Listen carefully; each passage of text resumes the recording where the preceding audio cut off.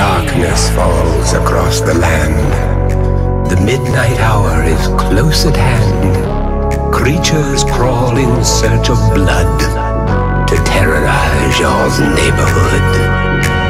And whosoever shall be found without the soul for getting down must stand and face